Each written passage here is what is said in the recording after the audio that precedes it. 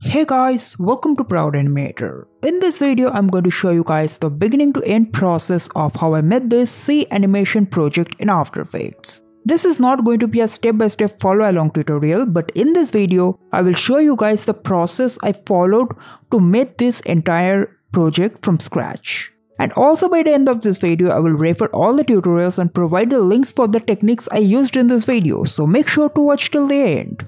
At the very beginning of any project, I researched on the topic and then did some basic rough sketch to put all the ideas in a visual format so that you can analyze it later on. So it doesn't have to be a well drawn out artwork, you just need to put all your ideas from inside your head to an artboard. I first noted down the elements I would need for this scene such as a boat, a hot air balloon, birds, an island, a coconut tree, a man sitting on a sea beach and chilling, and clouds. So with this basic rough sketch, I got the idea of this overall scene. Then I jumped into Adobe Illustrator and started with the final illustration. So I started by illustrating the sea water and the other element first. At this stage, I avoided the color selection process so I used shapes with black strokes and white fills so that I can only focus on the illustration first based on the initial rough sketch. Once the sea scene illustration is complete, I added more detailing to it.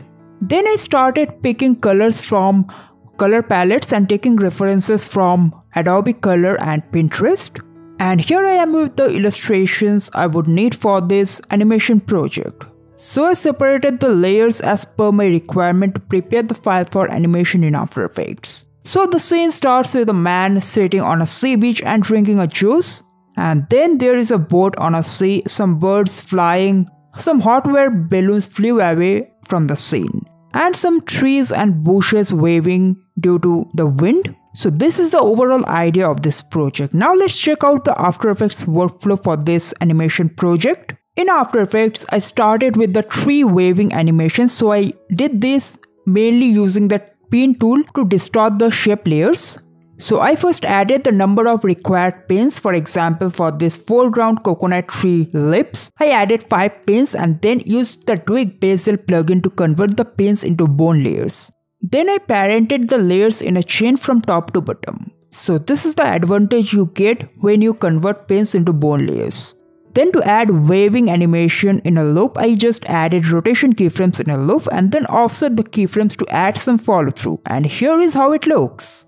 So I followed the same process to add waving animation to the other trees, plants, bushes throughout the scene. Then I moved on with the seawater animation. To animate the reflection layer, I used the null from path script. It's an inbuilt script in After Effects and you can find it under Windows.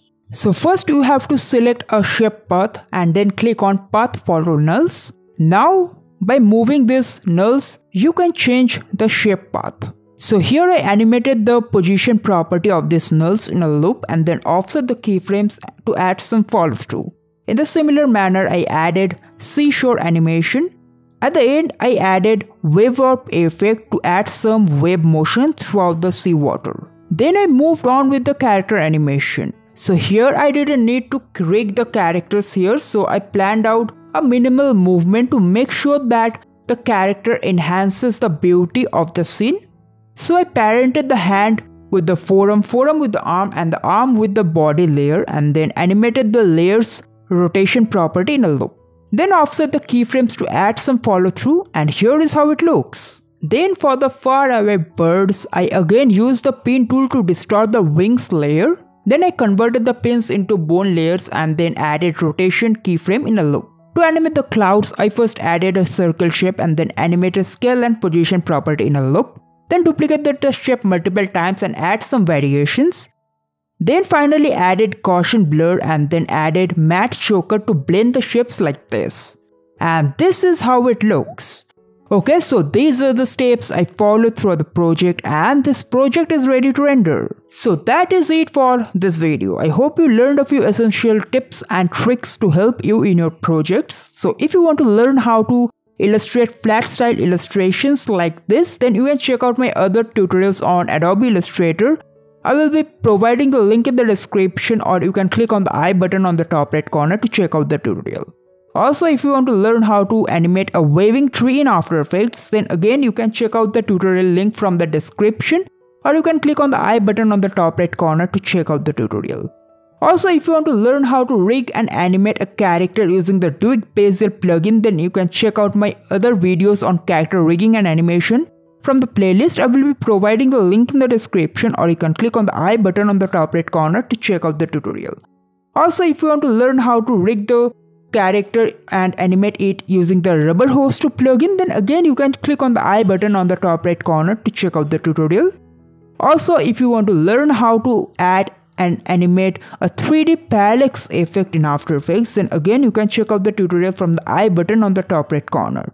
Alright, so that is it for this video. If you like the video, then make sure to hit the like button. If you have any doubt regarding the techniques, then make sure to comment down. I would be happy to help you out. And if you're here for the first time, make sure to subscribe the channel and hit the bell notification button to stay notified for all future updates. Until then, goodbye.